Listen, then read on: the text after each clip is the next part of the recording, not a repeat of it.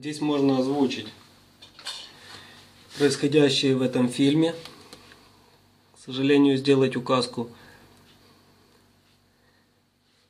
чтобы показать невозможно, но в принципе все и так само собой понятно. Это мицелий шиитаки на чашке Петри. Вот видно произрастание белой нити. Это мицелий шиитаки. И здесь попало вот зеленое пятно. Это попал какой-то посторонний э, гриб патогенный. Это что-то вроде пенициллина. Больше на то похоже. Что здесь можно видеть, что происходит на самой, э, в самом этом процессе. Мы видим, что э, мицелий шиитаки растет очень активно. Сейчас попробуем его чуть более в фокус взять. Вот, мицелий шиитаки показывает очень активный рост, что можно видеть вот здесь. Мицелий плохо, плохо вот фокусируется. Ну, в общем, смотрим дальше. И вот этот мицелий сейчас оброс вокруг вот этой колонии патологической. И что происходит в дальнейшем? Он ее локализировал. То есть вокруг нее сделал барьер и прекратил доступ к питательным веществам. И в дальнейшем пошел путем вокруг этого места, немножко отступив. То есть там нужно время для того, чтобы можно было это колонизировать. И в то же время выбирая другой путь. Некоторая часть мицелия ясно видно, что вот с нижней стороны вот этого зеленого пятна начинается колонизация поверхности вот этого, вот этого постороннего гриба, который попал на чашку Петри. Довольно-таки интересный момент. С одной стороны, э, можно сказать, что это брак производства, но с другой стороны, из того, что здесь происходит, можно сделать очень интересные выводы. Кто наблюдает за ростом мицелия э, шиитаки, тот хорошо знает, что его свойство поглощать э, небольшие такие вот Э, колонии довольно-таки велико. И часто наблюдаем даже в блоках, что может, может попадать какая-то большая инфекция. Шиитаки мицелий эту инфекцию поглощает. Относительно вот судьбы вот этой чашки, чашки и вот этого мицелия, любой сразу скажет, что это фактически брак производства. Но из этого явления можно сделать один очень э, такой вот, такое вот заключение. Э,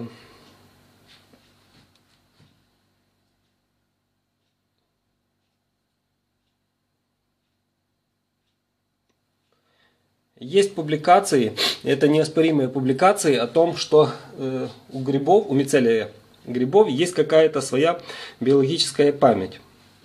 Чем эта память детерминирована, это уже вопрос в данный момент открытый, но дело в том, что память биологическая у мицелия есть. То есть он помнит, на какой среде его выращивали, в дальнейшем, в дальнейшем его ферментную систему, вообще система вот культивации э, мицелия заключается в какой-то мере в том, чтобы его выращивать на тех питательных э, веществах, на которых в дальнейшем будут произрастать грибы. Так мы избегаем Э, того времени, когда мицелий будет вырабатывать какие-то свои специфические ферменты, на это будет уходить время. Поэтому мицелий нужно готовить сразу на средах, на которых в дальнейшем будет выращиваться сами грибы. К примеру, если это пшеничная солома, то, соответственно, и саму среду нужно готовить на отваре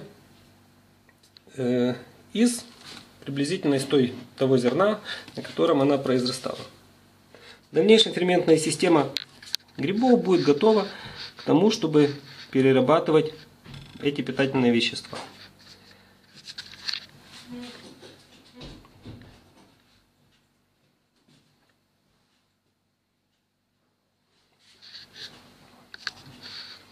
Смотри.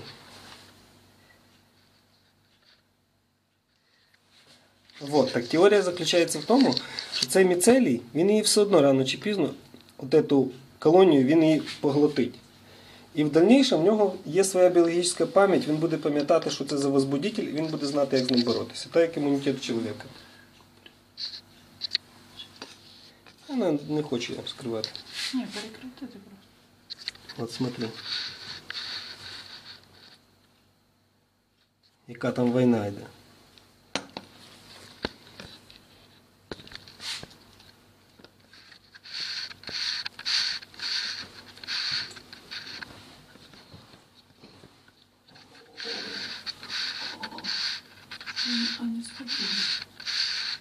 Зараз екскурсію в зоопарк зробимо.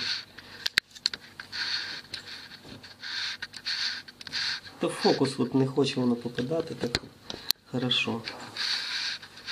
Хотів ще раз вивести. Ну от воно.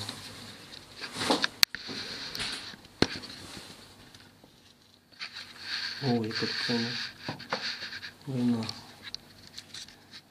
Да, і цю колонію воно потім захватить і місцеві будуть знати цього возбудителя. Ну, понятно, що далі з цим працювати не можна. Там, ну, пересівати.